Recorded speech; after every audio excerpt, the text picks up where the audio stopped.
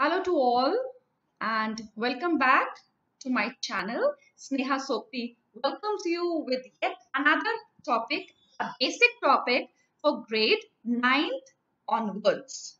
Many of the students, even they reach up to grade 11th and 12th, they do not know the simple topic how to form a chemical formula of ionic compound. They're always in a confusion, in a dilemma, how to frame a chemical formula of ionic compound. So we shall start today how to form a chemical formula of an ionic compound.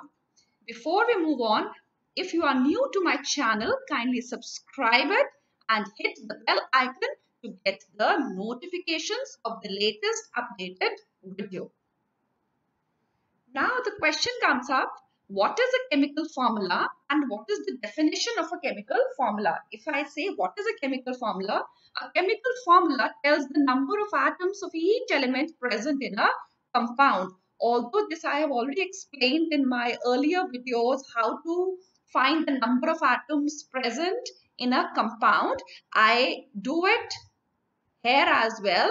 If I say sodium sulfate, this is the chemical formula of an ionic compound sodium sulfate where sodium has two atoms sulfur has one atom and oxygen has four atoms. So chemical formula tells us the number of atoms of each element present in a compound. Now before we move on how to form a chemical formula, we have to first remember the valencies of the positive and the negative ions. Suppose this you can find out in any of your books which is present. If I say sodium ion, so sodium ion is Na plus 1 or you can even write it out as sodium plus. If I say calcium ion, calcium ion is Ca plus 2 or you can even write it down as Ca plus plus. These are called the positive ions. And whenever a ionic compound is formed the positive ion is written first and the negative ion is written later on. Like if i say chloride ion that's cl minus 1 or you can write down as cl negative. So now we start up how to frame a chemical formula of an ionic compound we start up with our very first we take up the simple ones first and then we move up to the complex ones if I say sodium oxide, what is the chemical formula of this ionic compound? I always tell you the positive ion is written first and the negative ion is written later on. Sodium is Na plus and oxide is O minus 2. Now, this is a crisscross method. What is this crisscross method?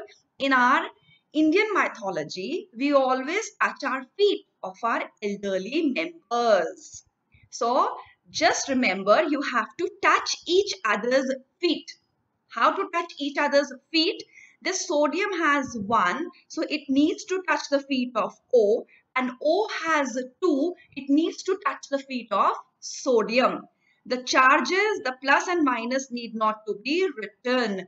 If 2 touches the feet of sodium, it is written like this. And if 1 touches the feet of oxygen, it is written like this. So it can be written as Na2O and this method is called the crisscross method. I give you another example. Just remember you have to touch the feet of each other. Now if I say potassium carbonate. Now, potassium has a valency of 1 and since it's a metal, it is positive 1 and carbonate is a polyatomic ion. It's CO3 minus 2. Same, we need to touch each other's feet. Only the numbers which are written on the top, they need to touch each other's feet. So this 2 will come and if 1 goes, with a carbonate radical, it can be written as 1. Since we do not write 1, it can be written as K2CO3. Just remember to touch each other's feet. That's all. Now, if I take up more examples, like any other metal like uh, sodium, and we take up the polyatomic ion as nitride. Sodium nitride. So its formula we need to see. Sodium is written as Na plus 1 and nitride is written as N minus 3. Just do a crisscross and touch each other's feet. This 3 will go down and it becomes Na3N. 1 comes up, so I'm not writing down here. 1. I hope this is clear. We shall do more examples to make you understand. Now slowly and gradually we move to little difficult ones. If I say aluminium phosphate, these are very important and basics for chemistry. Aluminium is symbol is Al and we write as plus 3 and phosphate is PO4 minus 3. Now check, this is plus 3 and minus 3. If these valencies can be cancelled, we cancel them. We know 3 ones are 3 and 3 ones are 3, so it's cancelled. So what, ref, what is left? 1, 1. So we simple write down as AlPO4. I take up another example of aluminium only. If I write what is the formula of aluminium carbonate, this will be a good one for you to understand. Now, aluminium has Al plus 3 and carbonate is a radical, it is CO3 minus 2 they cannot be cancelled because this is 3 and this is 2. So we will use a crisscross method and need to touch each other's feet. Now 2 is at the top so it goes on the feet of aluminium and 3 is on the top of aluminium it goes on the feet of carbonate. Since carbonate is a radical we put them in the bracket and write down 3 many of the students they do like this Al2 CO3 and when they are supposed to write down this 3 here they write down 3 as this. This becomes wrong and this is correct. I hope this is clear to you. Now one thing very interesting I have told you in this crisscross method always the positive portion is written first and then the negative one. But remember for a radical called acetate I say calcium acetate. Acetate has come from acetic acid. This acetate radical is written first while forming the chemical formula of a compound. Acetate is CH3COO minus 1. So when we do a crisscross method, we always we always write the metal positive part first and then the non-metal. But this acetate ones remember as a as a exception in which how do we write CH3COO first. Now, who has to touch the feet of acetate? Calcium valency. So, it is whole twice Ca. We take up another example of this radical. If I say aluminium acetate. So we have right now done aluminium has plus 3 charge and acetate has CH3COO minus 1 charge.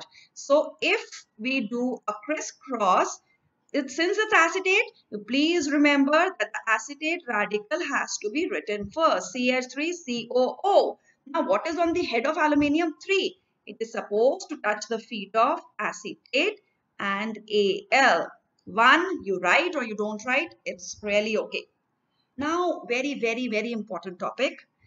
There are many metals which have more than one valency, like copper, like mercury, like gold, like lead, tin, and much more. Just remember, whenever it is says that frame the formula of copper oxide. Remember that copper has two valencies, copper 1 and copper 2. Now since it's not mentioned which valency we have to take. Similarly, mercury has two valencies, Hg1 and Hg2. So always in the case of copper and mercury, use a higher valency if it is not mentioned.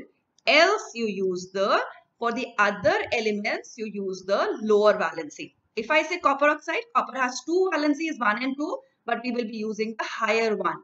Cu plus 2 and O minus 2, 2 and 2 gets cancelled. So if we do a crisscross, the formula will be copper oxide.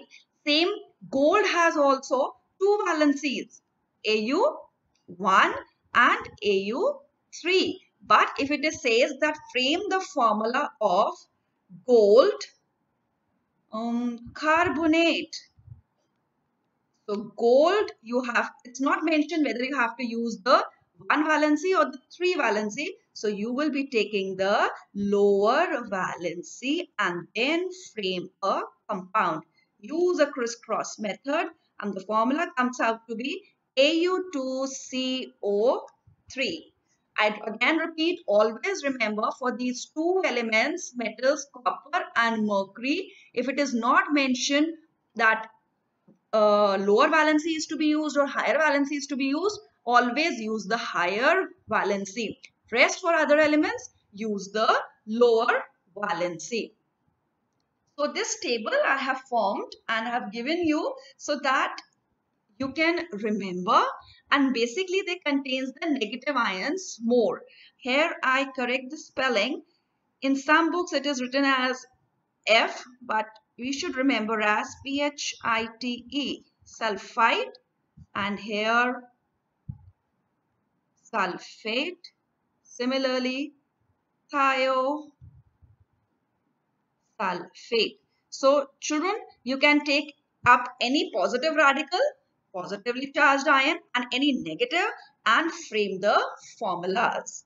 I hope this is clear to all of you how to frame a formula by this crisscross method of an ionic compound.